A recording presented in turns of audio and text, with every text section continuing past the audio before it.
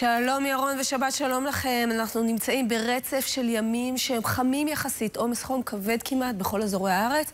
בואו נתחיל קודם כל עם מה שצפוי לנו הלילה הזה, שהוא לא מאוד שונה ממה שהיה לנו אמש. בערים אנחנו מדברים על 21 מעלות לאורך מישור החוף, 24 עד 26, 24 בצפון הנגב, 28 מעלות באילת.